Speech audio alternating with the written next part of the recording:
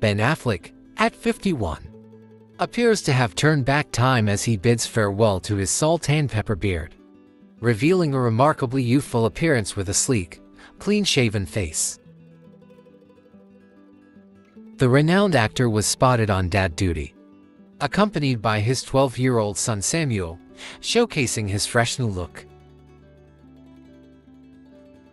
As they strolled, Affleck, known for his role in Air, held a basketball while his son pulled his wheeled backpack behind him, portraying a typical father-son moment.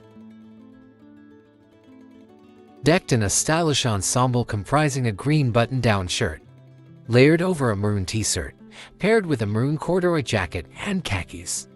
Affleck exuded a casual yet polished vibe.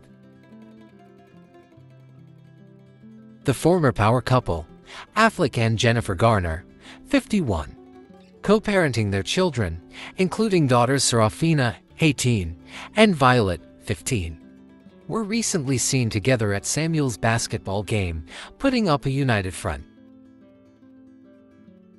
Despite recent revelations about Affleck's past, including keeping love letters from ex-partner Jennifer Lopez, Garner remains unfazed reportedly supportive of Affleck's journey and content in her own relationship with John Miller.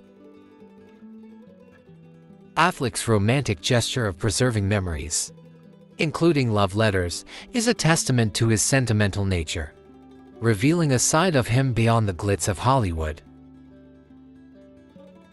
As Affleck and Lopez encountered a relatable mishap. With a flat tire, their day continued with a cozy lunch and courtside seats at a Lakers game, further illustrating their down-to-earth personas amidst their glamorous lives.